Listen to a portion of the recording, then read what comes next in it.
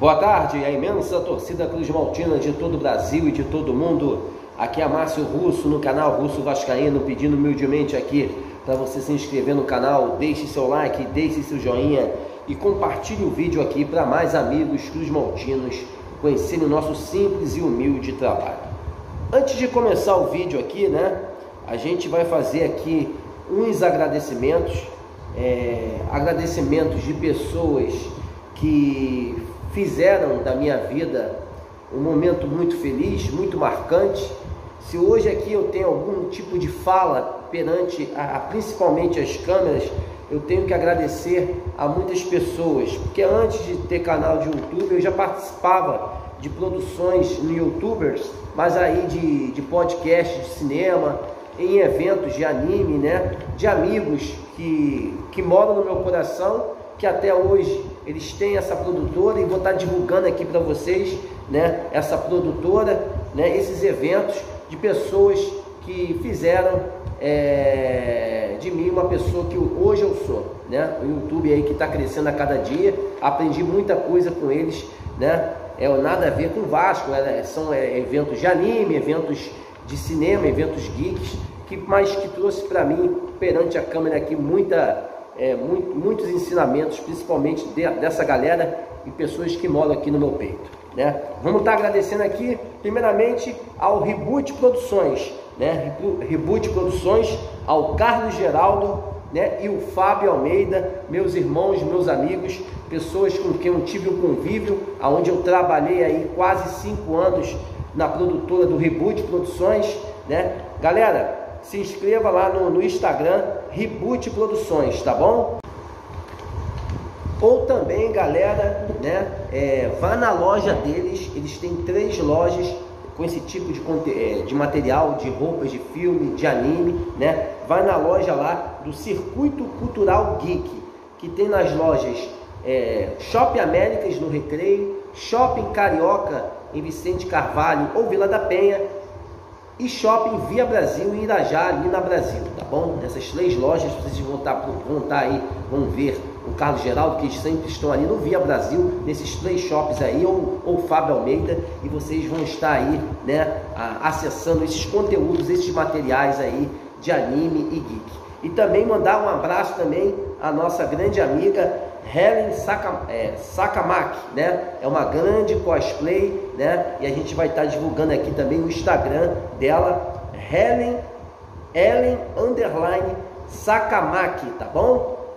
Também faça aí, porque é uma grande cosplay, uma grande amiga. Um beijão, Ellen. Um abraço, Carlos Geraldo. Um abraço também ao meu amigo Fábio Almeida. Estamos divulgando aqui para vocês, essas pessoas maravilhosas e vocês que gostam de filmes, de, de eventos de anime, vá lá no Reboot Produções, vá também no Circuito Cultural Geek, que essa galera vai trazer esses conteúdos maravilhosos para todos vocês, beleza? Agora vamos ao vídeo aqui, né? O nosso vídeo a gente vai falar aqui sobre a situação do Maracanã, né? O Maracanã está em pauta é, nesse, nesse conteúdo desse vídeo que eu vou fazer aqui para vocês. E o youtuber lá, o paparazzo rubro-negro, é, criticou aí né, o nosso presidente golpista Jorge Salgado. Né? Criticou porque o, o, o Vasco quer fazer 15 jogos é, na temporada, já fez alguns e quer complementar agora na segunda divisão. Ele criticou, eu acho que está certo. Você vai ver o vídeo agora, vou passar para vocês aí. E a fala dele, para mim, ele tem razão em tudo. Né? A gente tem estádio, tem estádio de São Januário, a gente não precisa do Maracanã. Maracanã possa ser vir, possa sim ah, acontecer jogos de clássicos, principalmente contra Botafogo, contra Flamengo e contra Fluminense. Mas jogos normais, a gente tem nosso estádio, a gente tem São Januário e a gente não precisa do Maracanã.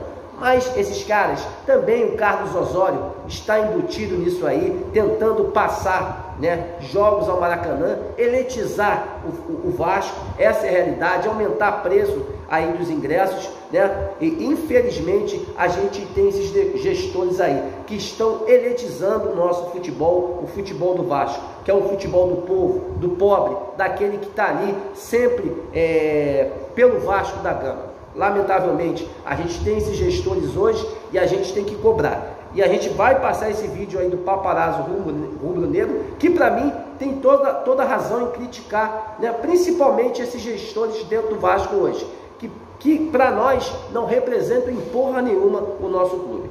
Então vamos deixar essa fala aí né, do paparazzo rubro-negro, que para mim tem razão no que ele está falando. A gente não precisa do Maracanã, a gente tem o nosso próprio estádio, São Januário, que é a, nossa casa, o nosso caldeirão. E lá que a gente tem que fazer essas nossas partidas aí da Série B para tentar voltar à elite do futebol brasileiro. Galera, um casaco no coração de todos vocês, um grande abraço, saudações dos Maltinas a todos. Tamo junto, uma ótima, uma ótima, uma ótima tarde a todos vocês de quarta-feira a todos. Veja agora aí né, a fala do, o, do paparazzo rubro-negro criticando Jorge Salgado, que querem levar jogos do Vasco, 15 jogos no Maracanã e entrar em concessão aí com o governo do estado. Um abraço a todos aí, galera. Fui! É, agora o assunto que eu fico chateado, né? O Vasco quer 15 jogos da temporada no Maracanã. Ué. E o São, e São Januário? Eles não têm São Januário?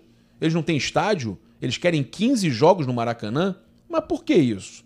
Flamengo e Fluminense dirigem o Maracanã, porém, o presidente do Vasco comentou sobre querer que os jogos do seu time sejam disputados também no Maracanã. Estive com o governador do Rio, Cláudio Castro, falando mais uma vez sobre nosso interesse em participar da licitação e voltar ao Maracanã.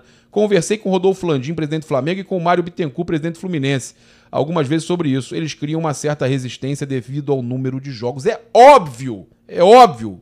Não vai, não vai peidar não, hein, Fluminense. Não vai abrir mão disso aí não, hein. Já tá, pô, já tá complicado. Alô, Mário Bittencourt, já tá complicado. Flamengo e Fluminense tendo que dividir o estádio, agora que, que melhorou o gramado, vai botar mais um time para jogar. Vocês estão de sacanagem.